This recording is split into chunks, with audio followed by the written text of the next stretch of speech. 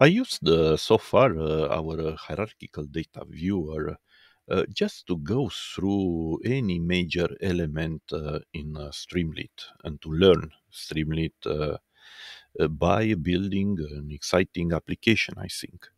Uh, I separated here in Data Viewer uh, all the modules uh, that we already built into a new application. Let's have a look. We have functional modules for uh, animated charts, uh, for the uh, plotly charts, uh, for the different uh, hierarchical data format uh, formats like JSON, XML, YAML, and so on. For GraphViz, it's in Graph. In the data folder, I put our default employee CSV with two other test files, animals and portfolios that we already used. In animated templates, uh, I added more templates for the D3 uh, animation. So I think we already built a collapsible tree, but I had similar templates for circular packing, uh, uh, dendrogram, and radial, radial and linear dendrograms. And yes, uh, I saved the generated files into HTML uh, files. The requirements text file is the same as before, and uh, yes, this is essential to to to keep it here and to have all uh, Python dependencies. Uh, let's have a look at uh, each of these files. The application file. Well, there are several changes, but uh, not so many. So we already used uh, cache data to to cache uh, to cache our loaded CSV file. We'll see that uh, we are, we've already seen that there are a few problems there, but uh, so far, okay, this could do it. Uh, on the sidebar, uh, we added a file uploader. Uh, we added select boxes uh, to select uh, different child and parent columns. And uh, yeah, definitely we loaded uh, eventually a different uh, CSV file. Uh, first time, of course, we provided the default one. Then uh, I create here different tabs, but uh, I include uh, in each different tab, I include actually multiple charts, multiple data visualizations rather, per category. So we'll have a look at this, but we'll start with the source. Yeah, the source will simply show uh, the pandas data frame uh, as it is. Uh, in the format, in the formats um, tab, uh, you can select from JSON, XML, YAML formats, and yes, I can add a JSON path, and I can render JSON as uh, collapse with collapsible uh, uh, sequences, sections. The way it goes is I always convert our tabular data pairs into JSON, and then from JSON uh, you can convert uh, to XML, you can convert to YAML, uh, or eventually, yeah, you, you can convert to a pass. From the graph, yeah, definitely uh, I call graph GraphViz chart to pass our uh, uh, dot uh, generated graph. And I create also a link here to see this uh, with our GraphViz uh, uh, editor, online editor. In the charts tab, I separate labels and parents from the first two columns or whatever columns, uh, mapped columns uh, we selected. And yes, of course, uh, just like before, uh, we can display tree map, uh, an icicle, a sunburst, and the Sankey uh, diagram with Streamlit's plotly, plotly chart calls. Call. In the D3 uh, animation tab, uh, we can select now from a collapsible tree that uh, I think we already demoed. Uh, I added as well a linear dendrogram, ra- radial dendrogram, and yes, we demoed also the network graph. So uh, I remind you, we pass through a generated HTML file that we render with the components HTML uh, call from uh, Streamlit. Uh, if we go into uh, into our uh, module files, so just remember the modules are referenced on top like this. Import from modules graphs as graphs, and then I will reference this as uh, as you can see here graphs I will prefix this with graphs and uh, call the, the shared function from that module.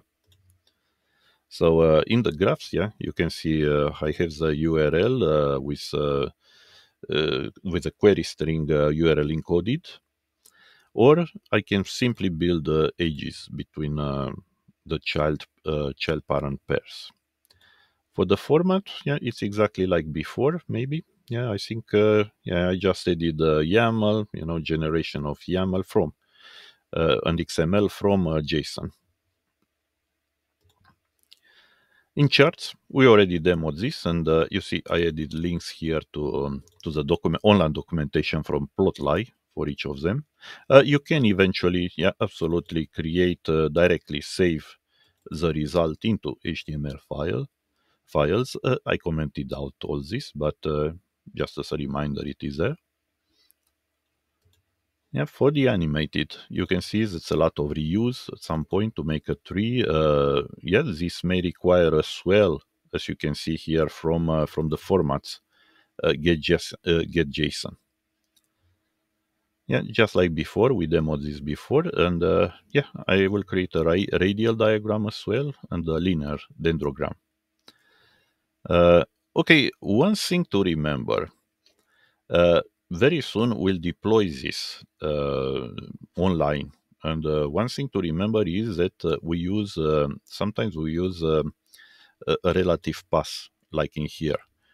we're on Windows, so whatever you you can you can introduce uh, you can use a backslash or a slash but uh, we'll deploy very likely we'll deploy this on linux so when you when you write portable applications, try to use a slash, not the backslash. The backslash will not work on Linux. That's one thing. And the other thing is uh, even the relative path could have some problems at some point because you don't know what the current path is. And uh, we'll see that uh, this will happen if uh, we simply use relative passes. Uh, what I did, and uh, that, that's a hack that works. okay, I always prefix uh, the actual file name, uh, but it's a, absolute uh, directory that I extract this way with a file. That, that's a built-in uh, constant uh, from Python that gives you the full path uh, of the current file. And in this case, my file is utils.py, but I want to extract just its directory directory name, and I will add this directory uh, name as a prefix for uh, anything else. And this works for local or this works for uh, remote. Okay, guys, uh, so let's give it a try at this moment. Let's go back to application. And uh, uh, I already run requirements text. I switched to this directory and I will simply call streamlit run app py.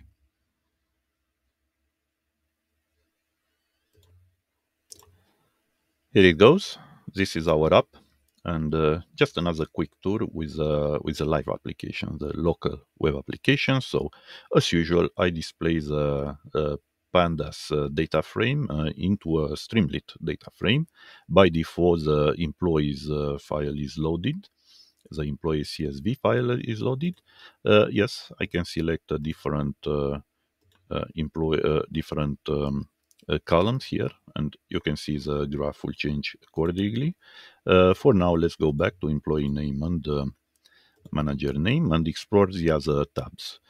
in formats, uh, in format, uh, I can select uh, between generated hierarchical file formats like JSON, XML, YAML. I have a custom JSON path here, and I have a JSON tree, which is actually JSON, play JSON, uh, with collapsible sections. Uh, this is provided by Streamlit. In Graph, yes, I have the traditional uh, Graph viz. I can go online directly with everything I have in the query string. in charts, I think, uh, yes, definitely I uh, demoed all this. So you can switch between the four types of uh, hierarchical charts here generated by Plotly. Okay, so uh, in animated, I already demoed this one, the collapsible tree, and uh, the network uh, graph. The animated. I just included uh, two as uh, two as uh, animations, uh, dendrograms, uh, linear and radial. So this is very similar to the collapsible tree. You can see it. the radial dendrogram, yeah, that's that's another possible representation. it's harder to read, but it is there going back here, uh, let's see what else. Yeah, definitely you can load another, another file like animals and uh, you can see different chart, uh, different data, so on, different animations here. if I select the collapsible tree, this is what I get. And uh,